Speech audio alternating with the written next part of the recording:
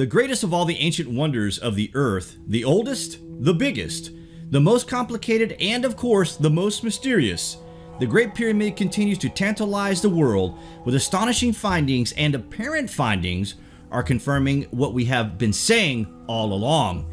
It can focus energy, even in its ruined state that we see it in today. The sheer majesty and brilliance that once was offers a glimpse of the golden era of this region.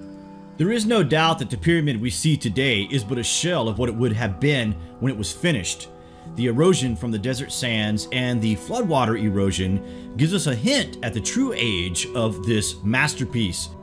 Imagine this giant structure as it would have been. The outside was no doubt much more majestic than what we see today.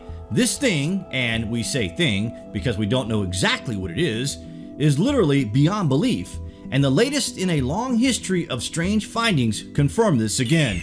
Wait to hear this the mystery of the pyramid.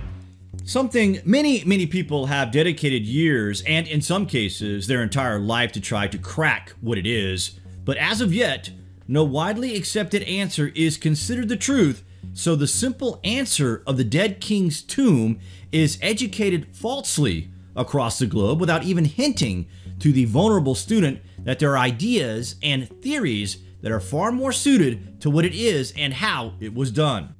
The latest findings are being reported as mad scientists and their outlandish theories, but we do find these findings pretty compelling, and we're going to tell you why, guys. First, this is what has happened. Scientists in Russia have recreated the Great Pyramid on a small size replica scale to measure how it responds to electromagnetism to see how wave energy is scattered or absorbed by the pyramid, and the group tested the interactions with waves of resonant length ranging from 200 meters to 600 meters. If the pyramid's ability to concentrate energy can be recreated on a small scale, researchers say the same science could be used to create more efficient sensors and solar cells. The researchers' assumption that there are no other known chambers almost made our jaw drop, and they really deliberately undermined scan pyramid discovery of a huge void and one smaller one, the huge void being the size of the Statue of Liberty, by the way. Nonetheless, and in general, this may conclude that pyramidal objects located on a substrate and supporting multipole resonance can significantly suppress the reflection of incident electromagnetic waves. In the Earth conditions, this could be used for controlling the radio wave propagation and reflection.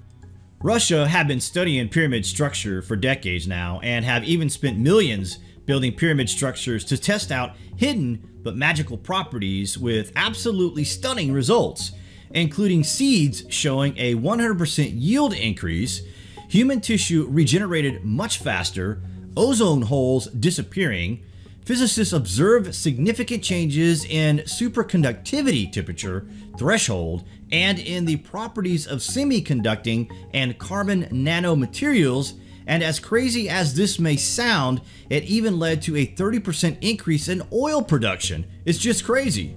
It has also been suggested by the Russian researchers that the taller the pyramid, the more impressive these findings become. So there's definitely more to the pyramid structure than just a neat building this kind of construction were elaborate. The latest study posted in the Journal of Applied Physics, of which we will post below, goes on to explain the following. This method is widely used in physics to study the interaction between a complex object and electromagnetic field. The object scattering the field is replaced by a set of simpler sources of radiation multipoles. The collection of multipole radiation coincides with the field scattering by an entire object. Therefore, knowing the type of each multipole, it is possible to predict and explain the distribution and configuration of the scattered fields in the whole system. The building material with the properties of an ordinary limestone is evenly distributed in and out of the pyramid. With these assumptions made, we obtain interesting results that can find important practical applications. So to sum up, electromagnetic energy, which includes radio waves, microwaves, and visible light, basically occurs due to synchronized oscillations of electronic and magnetic fields. The radiation propagates through space and time and is available all around us. but it in the form of sunlight or the waves used by home radios and Wi Fi to transmit data. Calculations show that in the resonant state, the pyramid can concentrate electromagnetic energy in the pyramid's internal chambers as well as under its base. Basically, it could help researchers develop sensor and solar cells based on the pyramid's shape using nanoparticles for future technologies. These type of publications are of course based on small-scale findings. The very fact it includes the Great Pyramid as a research topic is enough to send this information to every corner of the globe. But we suspect most people won't even understand what has been discovered. Significant? Who knows? As for Imhotep, that's the guy whose name means I come in peace, the governor to King Djoser. He showed up into the life of the king out of nowhere and then ascended into position so quickly, which is more than enough to raise an eyebrow or two, especially by ancient Egyptian standards. In Egyptian history, you can normally trace every position back to their parents, but Imhotep does not seem to have any family history. There is no trace of this mysterious man. Apparently just a common person, but a brilliant thinker who grew to great influence during the time of the pharaohs that he served, and then became virtually immortalized for all time. That is pretty significant. It is as if he became a cult figure during this time period, but why? Some have suspected that he was Joseph from the Bible because Joseph is described as an advisor to a pharaoh in about the same period of time, Imhotep rose to the incredible status as the wizard to the pharaoh. There are great mysteries about who Imhotep was, where he came from, and one of the extraordinary texts tells us that his knowledge did in fact come from the stars. In ancient Egyptian history, Imhotep spoke like a true ancient Egyptian, and everything he has came from the gods.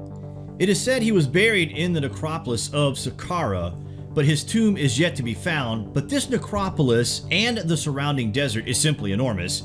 If this tomb is to be discovered, then it will be no doubt the discovery of the century, but will it provide further evidence that ancient Egyptian legends of gods descending to Earth from the constellation of Orion are based on fact?